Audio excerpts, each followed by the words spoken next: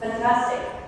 Right, so we're going to look at oxides, in particular, how to tune surface oxygen activity as a way to design activity, selectivity, as well as stability.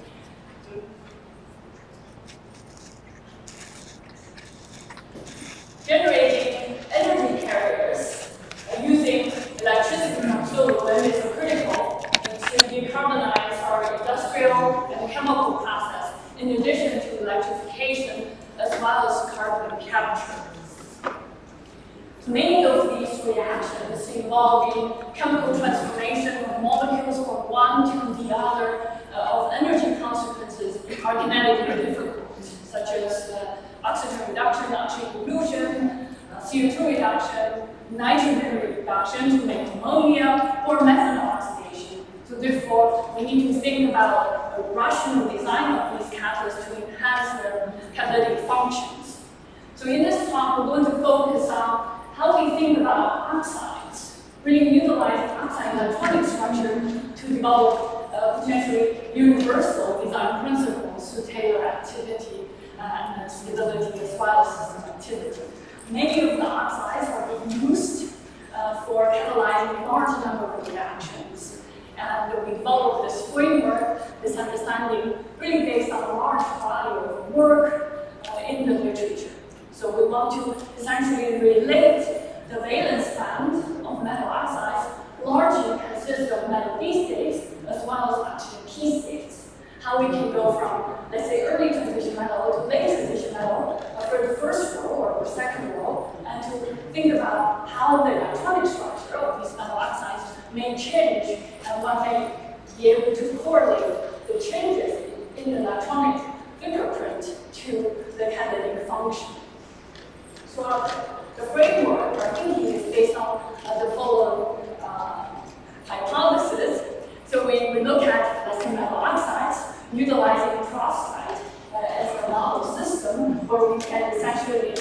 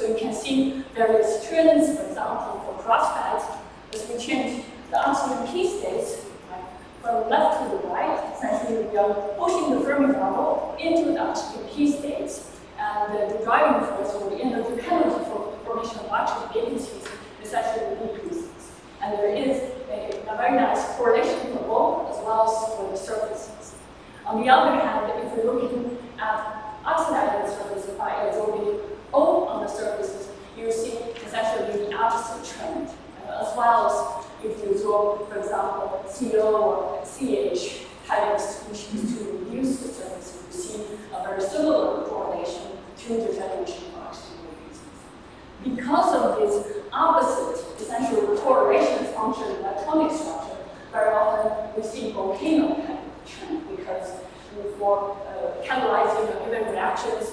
Uh, very often we might involve generation of oxygen vacancies, we may involve, for example, absorption of uh, species. Uh, very often we essentially optimize a certain position or optimize a certain essentially uh, electronic structure in order to uh, minimize uh, the overall, the highest barrier uh, for a given reaction.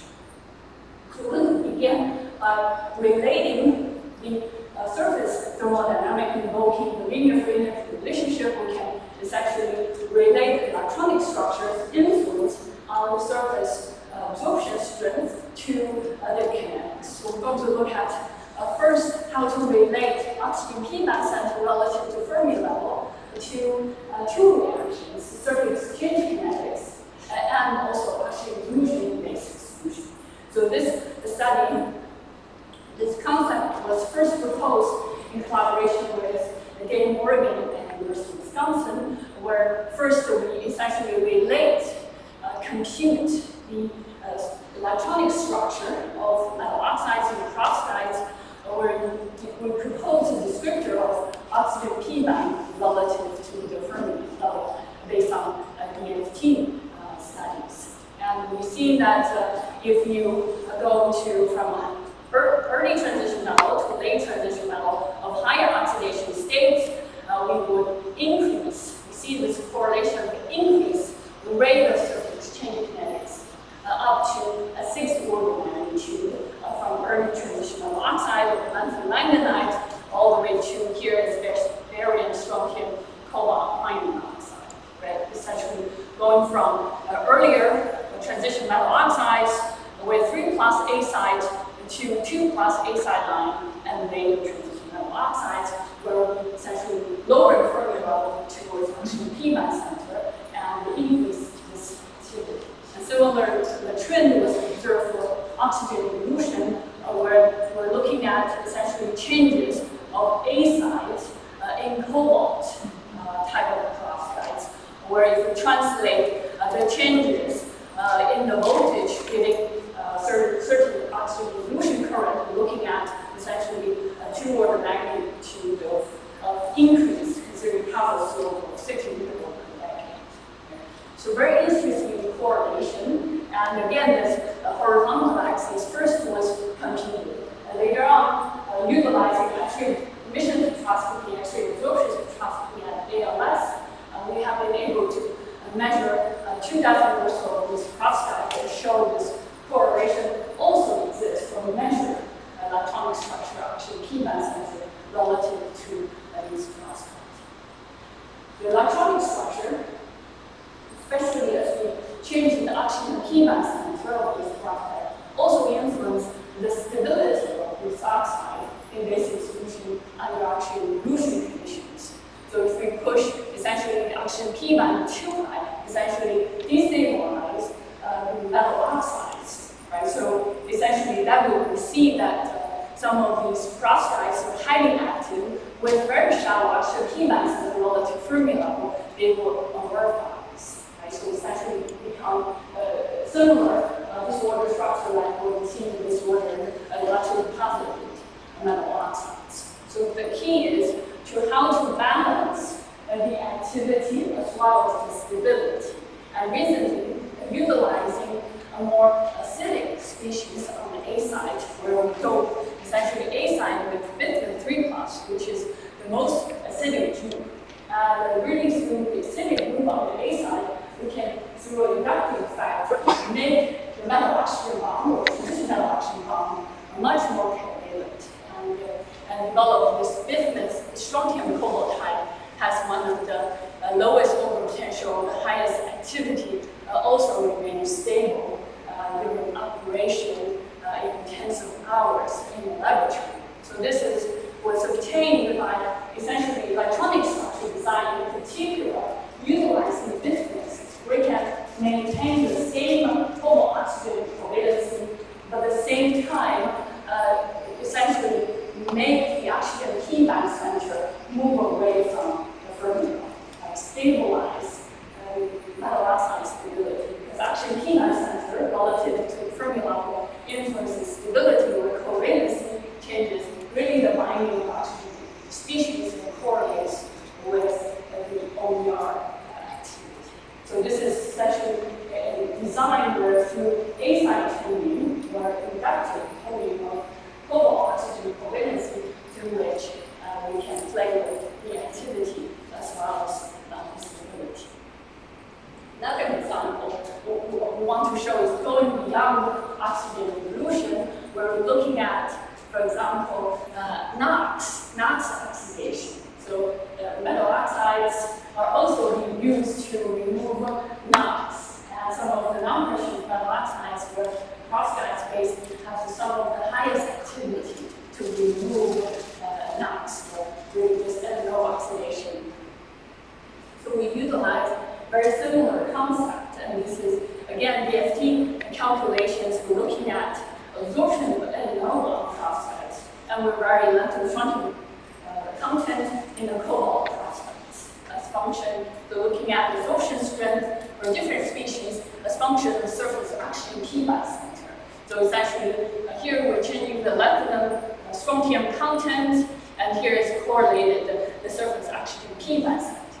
Uh, that uh, we see that NO doesn't go onto the B. On the other hand, NO actually uh, will drop onto the oxygen side. So NO will drop onto all sides and pull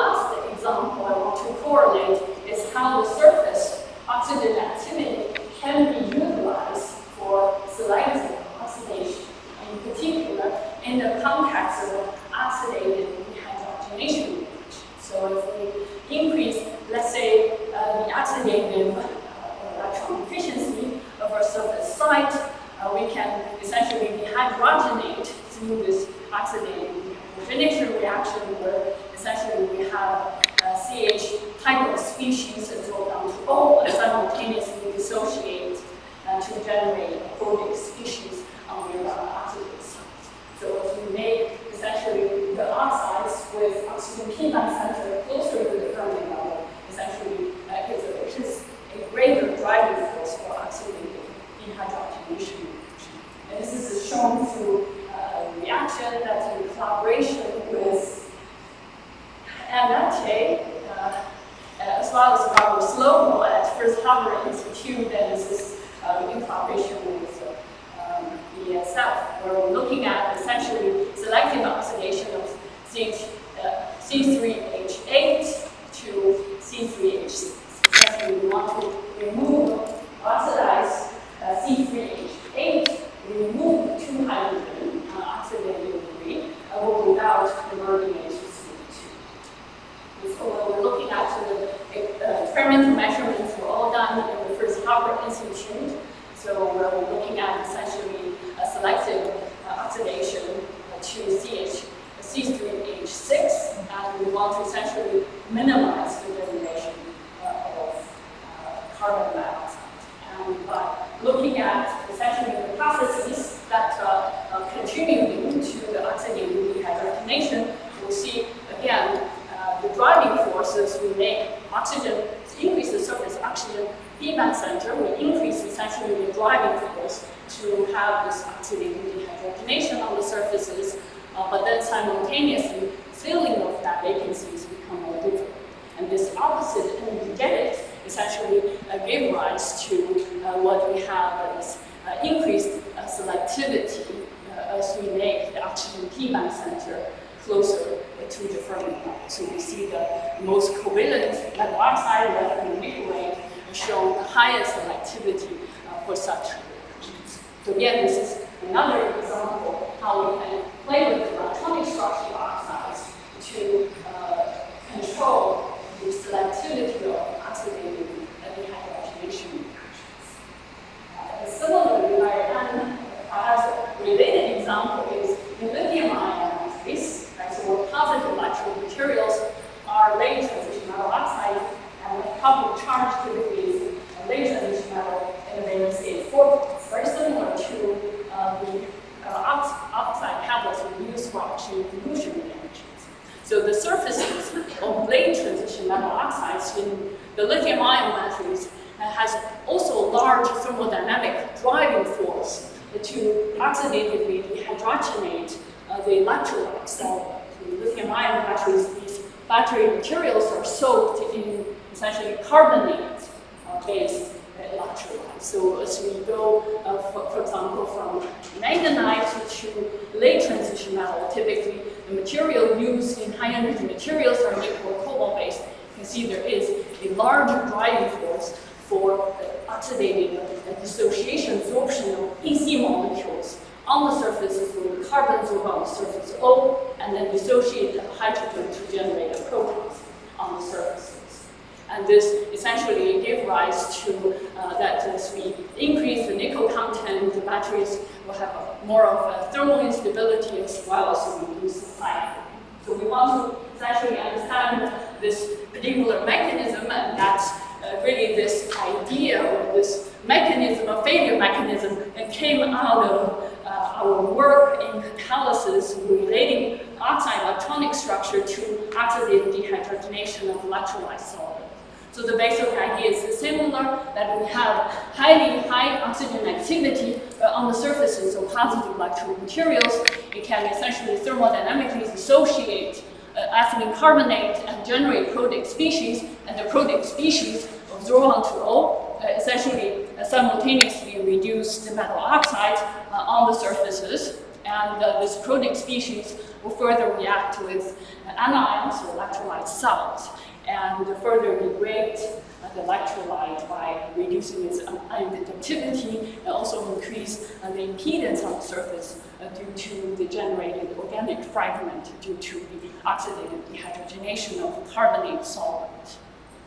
And so we essentially provided uh, unique experimental evidence for the oxidative dehydrogenation process uh, utilizing surface enhanced FTIR. So you make this type of lithium ion batteries and you have the window directly looking at essentially the electrolytes uh, in contact with the positive electrode materials. So as we charge the battery at the beginning of the charge, even at, let's say, voltages 3.9 volt, uh, we see essentially increased uh, signals at a higher wave number expected uh, for uh, EC or lithium coordinate EC. And these signals, appearance of these signals uh, can be related to a generation of VC, essentially removing of two hydrogen from EC and form a double bond, or dehydrogenated one hydrogen from the EC molecules. And this is uh, validated through uh, DFT calculations uh, of these uh, oxidative dehydrogenation process. And this is further supported by the fact that if we survey all possible surfaces, right, so if we look at, let's say, aluminum oxide or fluorinated, fluoride surfaces, the driving force for this uh, oxidative dehydrogenation will not occur. At least thermodynamically unfavorable if we coat the surfaces of metal oxide with NMC, which is nickel, manganese, cobalt with 80% of nickel, we coat the surface with a metal fluoride, and we see the battery can be cycled uh, without uh, substantial degradation, further uh, support increased stability.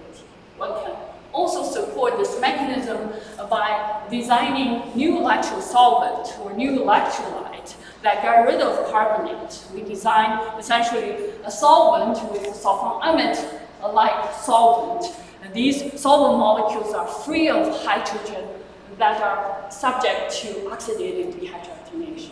And you can see in this electrolyte, both the solvent and salt have very similar structure, free of hydrogen that might be subject to oxidative dehydrogenation. And utilizing such electrolytes, right, we see much greater stability and the more intact particles in contrast to this fractured particles after cycling in the carbonate. And this uh, fractured surface has to do with essentially generation of acidic species and uh, causing intergranular uh, cracking during the battery cycle.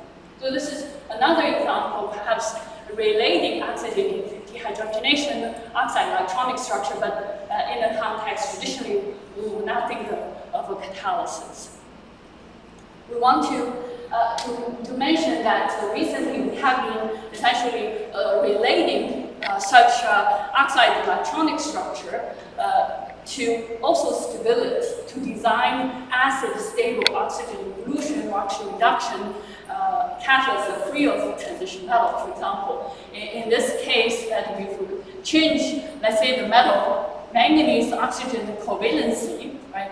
Uh, if we make the metal manganese oxygen bond stronger or more covalent, you can see it will increase essentially the stability by minimizing the amount of manganese dissolved. Right? So tuning the electronic structure when metal oxygen bond strength can be also correlate to design a stability in acid. And one can essentially correlate this type of uh, essentially uh, correlation and map out utilizing oxides in material project to search for new oxide uh, chemistry that can be stable, also exhibit uh, activity of oxygen evolution. Going beyond metal oxides, we can essentially think of changing the ligands, right? So metal, uh, other ligands such as nitrogen. Right? Very similar argument can be made. Right? So if you uh, increase the covalency between metal and nitrogen, uh, we also uh, know that it can essentially changes the stability of metal nitride in acid and generate essentially trends in how easy or how fast it can generate ammonia ions in acid. It also correlates essentially with the nitrogen p bond control, specifically the metal nitrogen bond ratio, essentially the, the large or complete conversion to ammonia uh, from these iron or nickel nitride in acid uh, to some of the early transition metal nitrides can be explained also by its electronic structure trends. So I want to mention that so far we've been looking at correlation.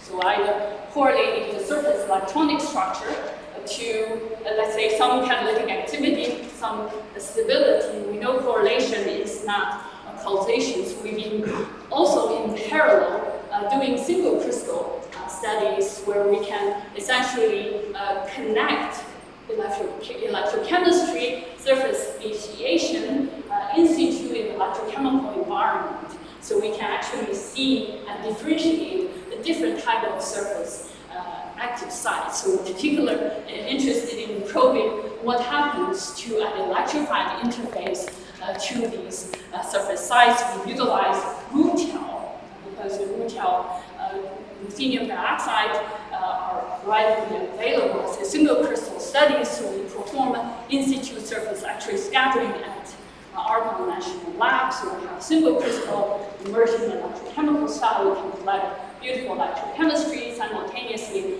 You see how the structure uh, of the surface will change. In particular, we're interested in rods, so surface formation rods are free of ruthenium because they will be mostly sensitive to surface oxygen, they will be sensitive to surface base, in particular, sensitive to the protonation of water to, for example, OH to O and to OOH. So that's something essentially we can uh, deduce uh, from these uh, surface a crystal surface truncation rod, and through which we can essentially uh, monitor the surfaces, the functional voltages. Let's say on the ruthenium cut side, to first notice an oxygen that far away from the ruthenium site, and gradually it shortens as we increase the voltage. And couple of experimental measurement and DFT calculation, we know this is essentially absorption of water and gradually become deprotonated to water OH OH2O, and essentially generation of this peroxide species that potentially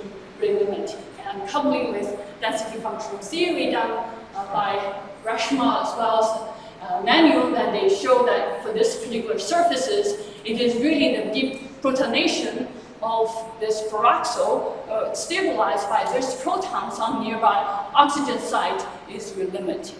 And if we essentially uh, remove uh, this proton uh, at the last step, then we have essentially barrierless oxygen evolution. And this provides really a framework. We can go beyond just basic description of surface oxygen sites or surface electronic structure, because now if we change the surfaces, 110, 100, and 101, we have all Cus sites. But all the Cus sites essentially have very different electronic structure. And because the nearby oxygen formation are different.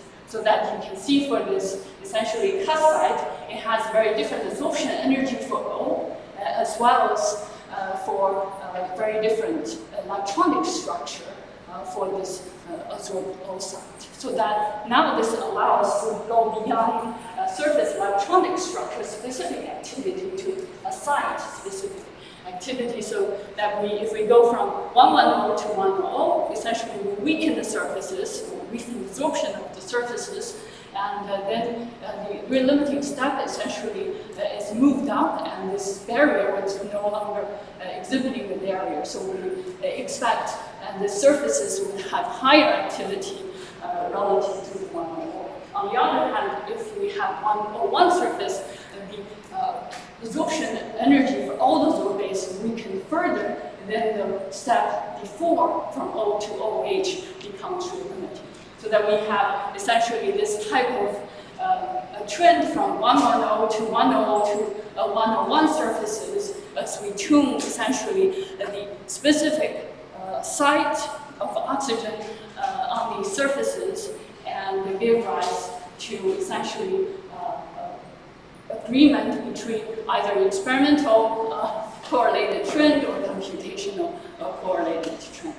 So this inspires to think about, instead of designing surface electronic structure, surface atomic structure, uh, to design activity, we want to go per atom properties. So can we think of, you know, looking at per atom of metal or surface oxygen, right? So there's many different uh, metal surfaces, many oxygen sites on surfaces. They all have different uh, electronic vibrational fingerprints. So this is what we are set out to do, essentially uh, linking the magnetic property, electronic property charges uh, of, as well as the vibrational frequency of each size and develop a machine learning model. And this machine learning model we're using is crystallographic convolution neural network developed by Jeff Grossman, uh, which is unique in capturing the local environment of the surfaces or the atoms and allow us to develop a machine learning model to uh, particularly designing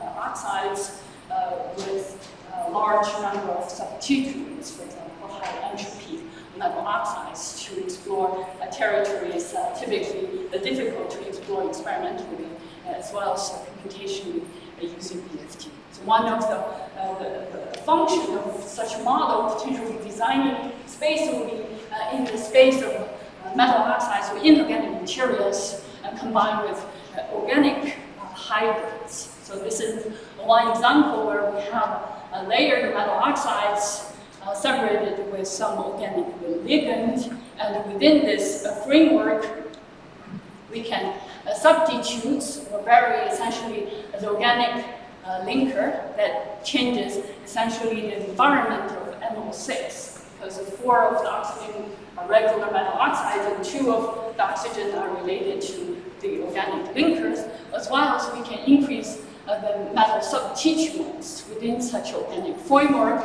allow us to have much greater degree of tunability of redox couple, uh, redox potential for metal, as well as uh, OER activity. So I think this is much greater uh, compositional space, electronic structure space uh, for tunability.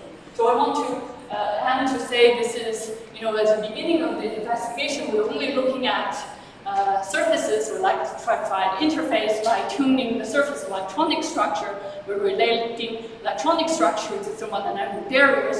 And uh, what's really exciting frontier is how to think about these non-covalent interactions uh, can, which can play an important role changing the kinetic barriers in proton-electron transfer coupled or decoupled reactions, which also can change rates of reactions by orders of magnitude as well as uh, selectivity. So I want to thank you for your attention and I want to thank uh, the group members uh, whom I have the privilege to work with in the past uh, decades, a few years. I want to particularly highlight Reshma, work, and Jonathan, Emmanuel, uh, Livia, and Yang Yu and Yirui Jackie, and of course our uh, collaborators and sponsors. Thank you so much for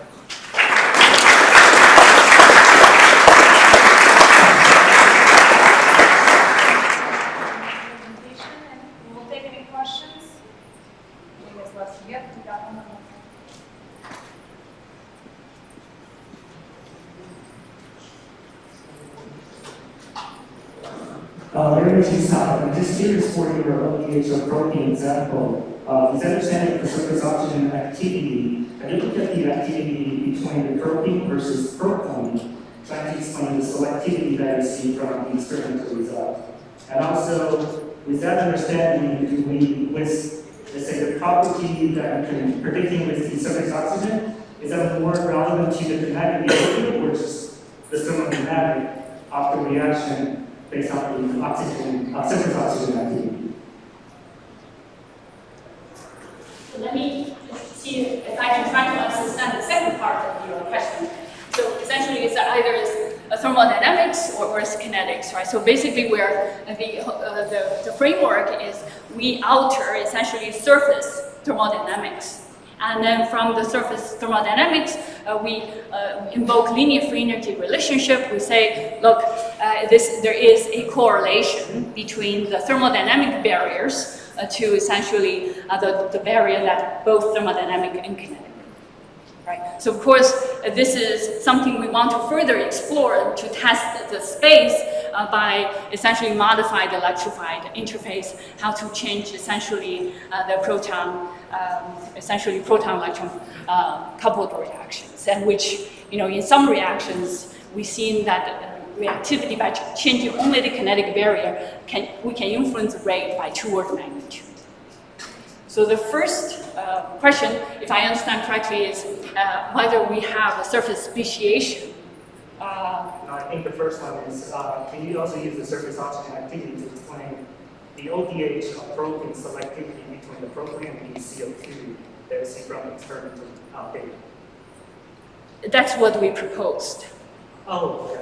Sorry. So yeah. So essentially, that's essentially uh, the we propose that hypothesis. Is really is due to the surface uh, activity. There's two opposite energetics. One is increased dehydrogenation re dehydrogenation reaction on surface oxygen. There is the opposite trend, which is uh, difficulty filling oxygen vacancies where the surface become poisoned by carbonate. So that you have opposite essentially correlation, so therefore one need to optimize electronic structural surface activity to enhance the selectivity. Maybe we'll take one more question.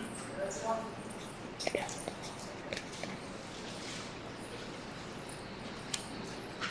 Uh, Thank you for the talk.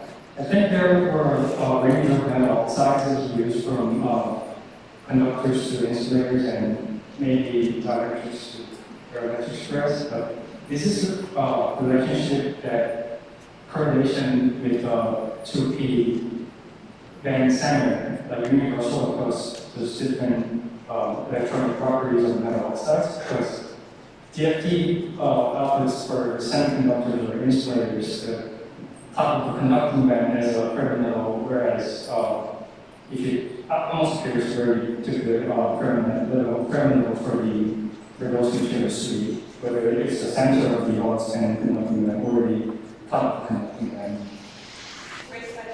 So this is something that we addressed a few years ago by looking at uh, measuring uh, the frost size, where you can actually uh, measure outwards uh, the conduction band, the level, and you can actually see if you look at uh, semiconductors and looking at actually illusion. Right? So then you have that initially there will be a barrier. Right? So then there will be a lateral transfer in the heat. On the other hand, if you look at metallic oxides, right? And so I, many of the manganese oxides are metallic, many of the cobalt oxide are metallic. If you look at the metallic uh, conductors, then you can actually um, propose how the atomic structure may influence the inclination reduction rates. right? So if you want to say, uh, consider all factors?